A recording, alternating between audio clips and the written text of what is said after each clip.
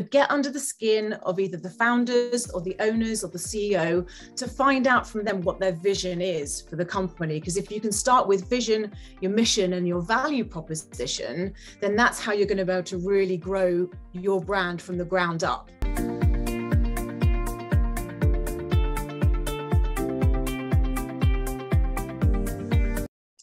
What should be the top priorities for a growth based B2B SaaS startup for laying down its strong foundations at marketing front? So I think you've got to start with um, brand.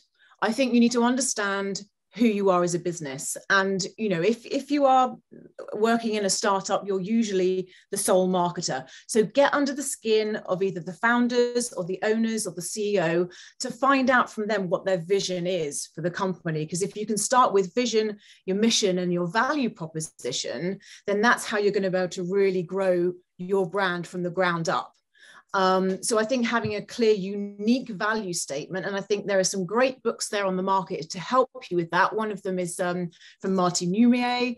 Um, I mean, if you just Google Martin Neumeier and the only um, onlyness statement, then you'll find, you know, example of how to say that you are the only company that does X, Y, Z for these these people, and that's really the heart of getting to understand what you're about, because you know as marketers, we can be tempted to put a lot of fluff onto things.